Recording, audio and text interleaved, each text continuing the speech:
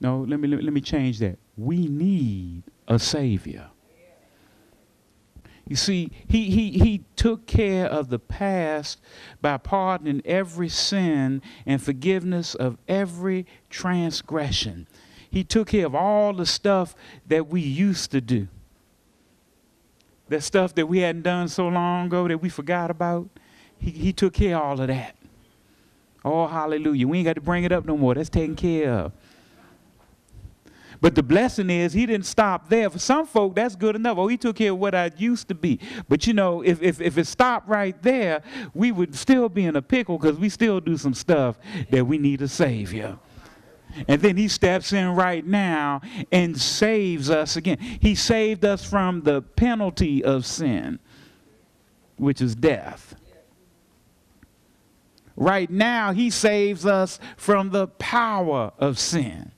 Well, what do you mean, preacher? You know, that stuff that we used to do that we real, really still want to do, that we tempted to do, but we don't do for whatever reason. That's because the Lord keeping you. That's because he took that desire that, that, that, that, that you, you, you remember time when there's stuff you used to do, places you used to go, uh, things you used to hang out. Then one day you just decided that that wasn't important no more. You know, and, and I know young folks sitting there talking about, oh, well, you know, when, when you become a Christian, you you you just got to give up. Everybody always talking about what you can't do. Look, I'm gonna tell you, I, I want y'all to know and get this. There's some stuff that you doing that you think that you will always do that one day you'll just wake up and it ain't important no more.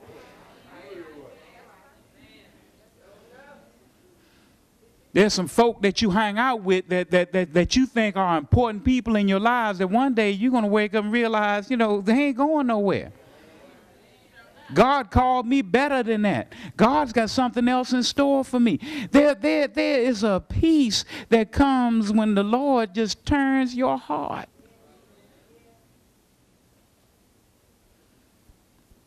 Now, there's some folk who just don't get it.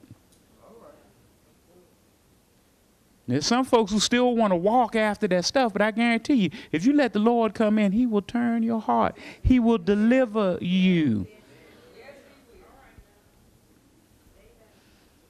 He speaks to us if we listen. You know, his, his, his voice is calling out to us. You know, that, you know that, that, as we, it just bothers me when I hear folks say, something told me. That's the voice of God through his Holy Spirit telling you there's something better. You ain't got to do that. You ain't got to go there. I was going to give him a piece of my mind, but something told me that was the Holy Ghost.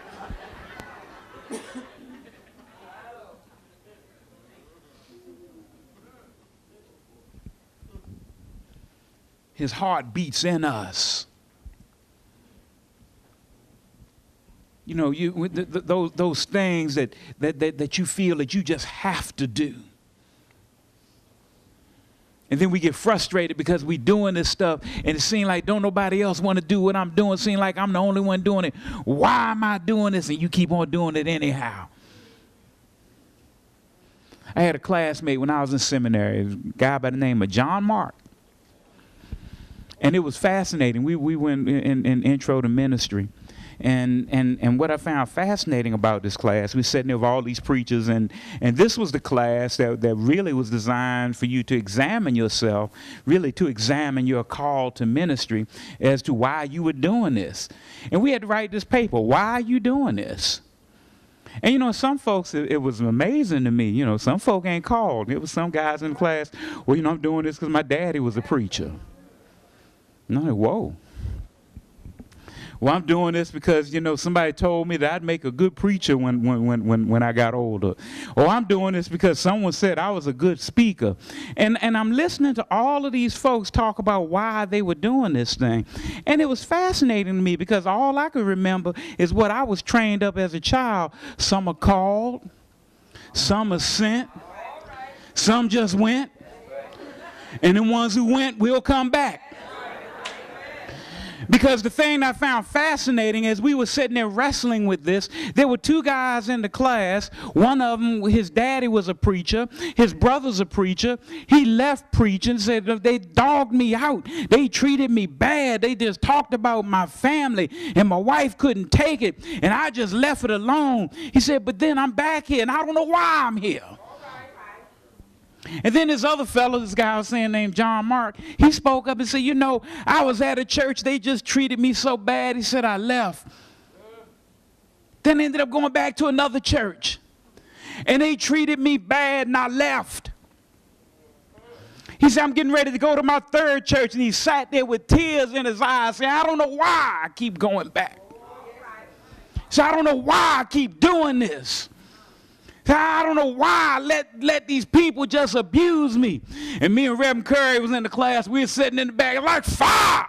Shut up in your bones. You can't walk away from this. The Lord called you.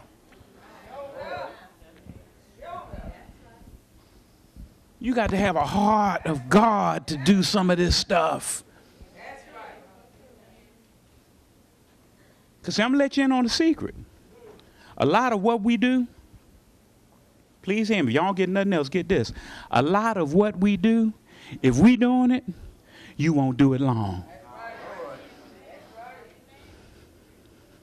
Because you won't be able to understand why is it that I give up my best and folk just act like they could care less.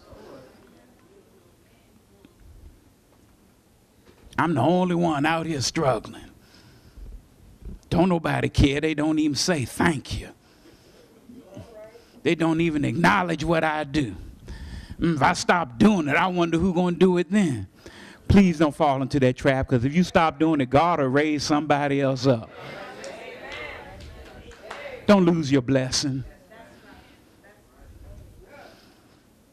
Jesus has given us all that we need to do what he's called us to do. He's an all sufficient Savior.